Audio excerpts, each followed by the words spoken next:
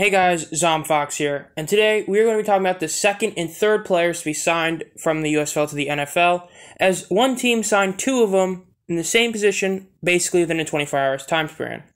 Dejuan Neal of the New Jersey Generals and Channing Stribling of the Philadelphia Stars have both recently signed with the Washington Commanders. Now, without further ado, let's just talk about both those players before we talk about their time and how it's going to be with the Commanders. So Dejuan Neal pretty much is someone who most people, you know, casual fans probably don't know about. He played pretty much seven games during the season for the Generals. He dealt with injuries in the beginning and end of the year. He overall just had a few tackles. He was a cornerback.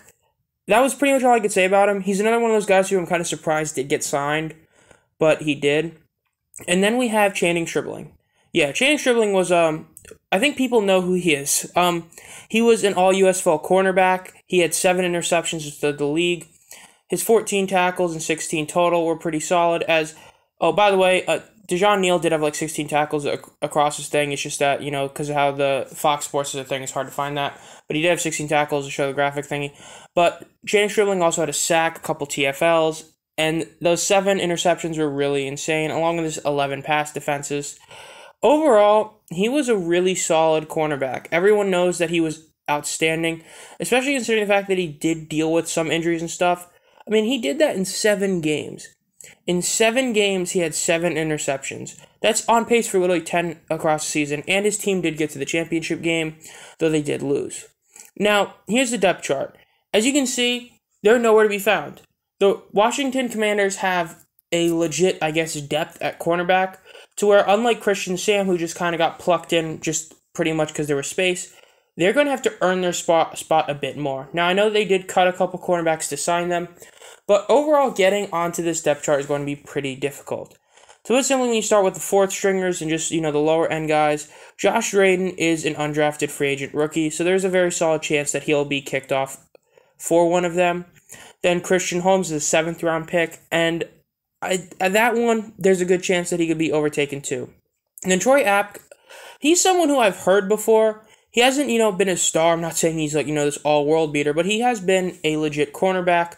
He's played in a lot of games. It's just not necessarily was he a start or something, but he's someone who would be a bit harder to take off. And then Corn Elder, as a Panther fan, I watched him his second year where he was there. He was okay like I'm not the best at you know evaluating a cornerback, but I mean I remember he was you know he was there, he was uh he was there, and then last year he wasn't as good as he was with the Panthers that second year, so him and App I could see them getting taken over, but then you get to the other four guys and it's a bit less.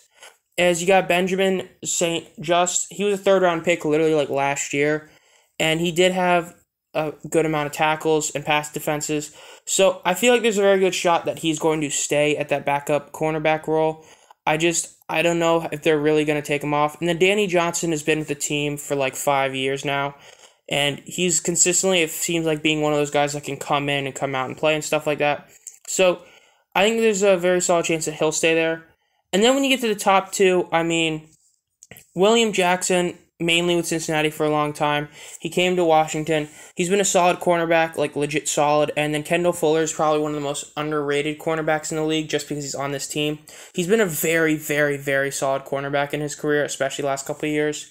So I feel like those top four, so the you know two starters and the two backups, for the cornerbacks, I think are going to be too much for them to overcome. But I think that Stribling and Neal could definitely become that fourth and third string guys. I feel like they can definitely overtake some of those guys. I do feel like Stribling has a better shot at making it than Dejuan Neal. Uh, it's close, but I feel like Stribling just when you're that all USFL and the way he played is something that you know is really beneficial because it shows that he can legit be a you know solid like I guess he can get interceptions and as long as you don't, you know, get burned over the top a ton like Trevon Diggs, no one can really hate you for that. So I feel like it's a better shot at making it, but at the same time, Neal did get signed first. Overall, they both didn't get signed, and they both are on the team. They're not on the active, you know, they're not on the depth chart for, you know, starters and like the 50 man roster, but they are signed to the team. Those two, I feel like, have less of a shot at becoming a star, like starter, than Sam does. But like you, but like last time, time will only tell. This has been Zomb Phox. Enjoy this content when I'm notified as soon as I upload any videos. Especially since, as long as the players keep getting signed every like two, four days, I legit can keep making videos on each one of these players and talk about the situation, which I'm all for. So, have a nice night. As always, see you guys next time. Have a great night. Subscribe and hit the bell. See ya.